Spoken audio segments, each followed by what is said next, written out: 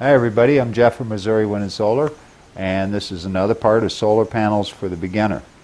Now I know all of you guys that are just beginning are probably really confused about all the different types of solar panels out there and all the different voltages.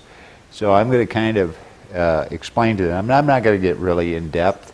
I'll just give you an idea of the difference between one over the other. What I've got right here is a 100 watt solar panel and this is a 100 watt solar panel. And that is a 15 watt solar panel over there. This is a monocrystalline. And that's a polycrystalline. And that over there is called a thin film or amorphous solar panel. So how can you tell the difference? Well, the monocrystalline solar panels are usually black like this. And they will have these little cut corners with the diamonds in here. They're really easy to spot. As you can see, see the shape of it. Now, polycrystalline will always be rectangular cells.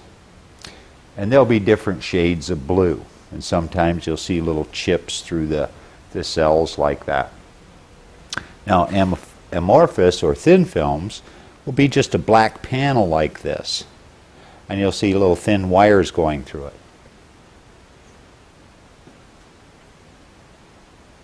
People ask me all the time, which solar panel is better? Well, none's really better than the other. It depends on your application, where you are, what you're doing with the solar panel, you know, how much you want to spend. So, um,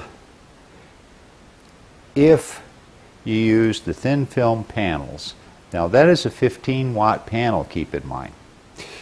This is a 100 watt and this is a 100 watt. Now the monocrystallines are more efficient than the polys and more efficient than the thin film.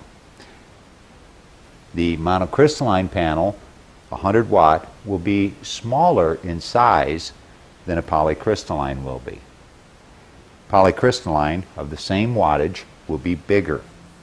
Now, a thin film amorphous of the same wattage, if it was 100 watt, will be even bigger, quite a bit bigger than a polycrystalline or a monocrystalline.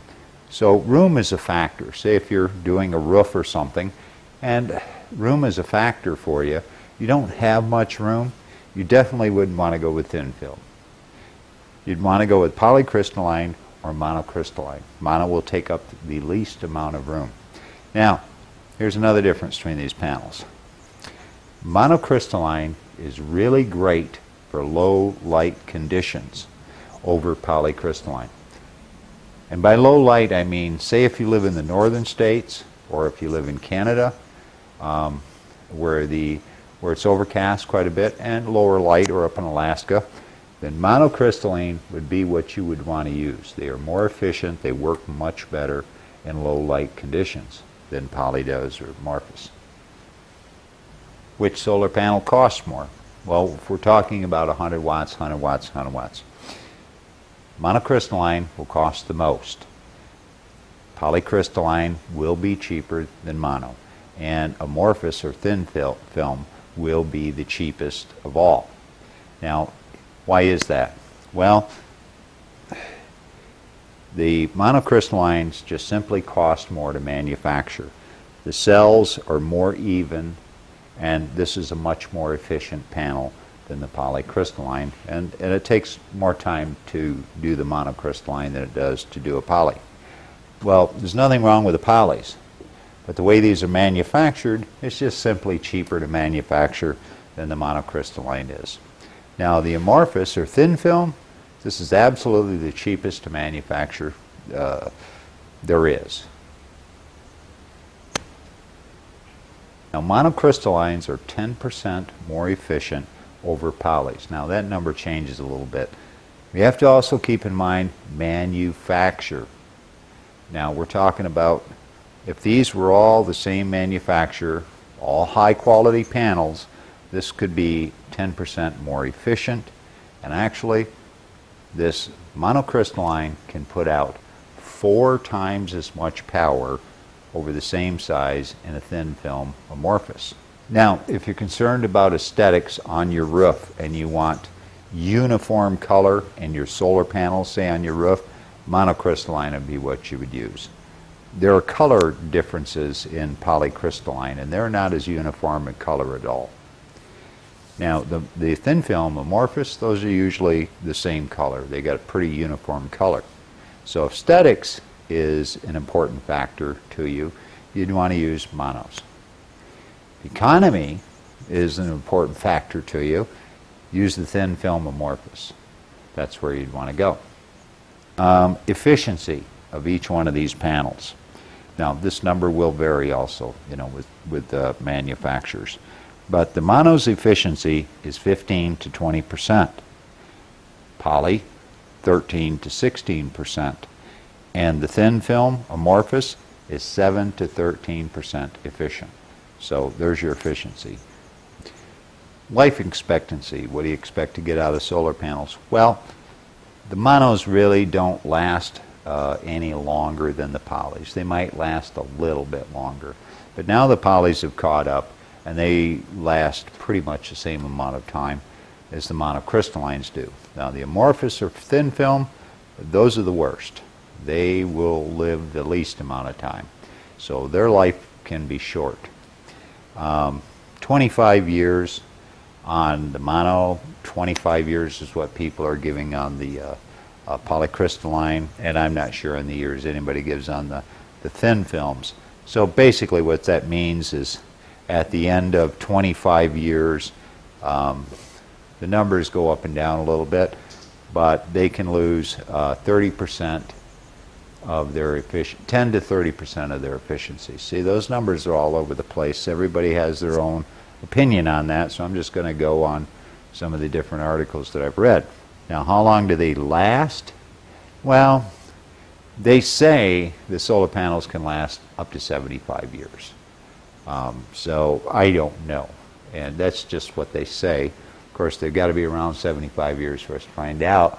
But 50 years, I guess, is supposed to be the life expectancy of a solar panel. And do they go dead at the end of 50 years? That I don't know on, on that question. Now, there are solar panels that were made back in the 1970s. And I've seen a few of them, and even the 1980s. And those guys said their power output today was down 50%, half of what it was. So out of a 100 watt solar panel uh, from the 70s, 80s, uh, they're getting 50 watts out of them today. So that's all I can tell you on their length, their longevity. Uh, for most residential use, okay, just you're just a homeowner. Uh, most residential uses, um, those people really get polycrystalline. And for the people uh, that are really interested in, I mean, the highest efficiency and uniform color. You'll see a lot of this stuff on government buildings and states and that sort of thing. They get monocrystalline. Um, now, the thin film uh, am, am, amorphous solar panel, I have to show you something here. Okay, give you an idea of the size difference. This is a 15 watt this is part of a 45 watt Harbor Freight solar panel kit. I know you guys have seen them. They come with three panels like this. This is a this is a 15 watt thin film amorphous panel. This is a Harbor Freight panel. Now you can see the size different up against a 100 watt poly. Okay, so there's quite a bit of size difference here. Now, a lot of people run to Harbor Freight uh, they get shot coupons and they think, what a great deal Harbor Freight solar panels. Go, because I get all these cool lights and a little charge controller and stuff. It is a horrible deal, absolutely horrible deal to mess with getting a Harbor Freight solar panel kit. And let me tell you why. I was just at Harbor Freight myself, and this is November of 2015. The 45 watt solar panel kit from Harbor Freight, 45 watt, was $189 here in Springfield, Missouri. They'll shoot you out a coupon for 150 bucks. It varies up and down, depends on where you live. So now you're talking about, with a coupon, $150 for 45 watts. A 100 watt solar panel will cost you 120 to $130 for a 100 watt. Okay? So you're you're getting twice the wattage and a long-lasting solar panel for the same money. And that's a lot. So the other problem these Harbor Freight solar panels have is the charge controller that comes with them is usually only for 45 watts. Okay, so that little cheapy charge controller that comes with them, 45 watts. You can't you can't upgrade those at all.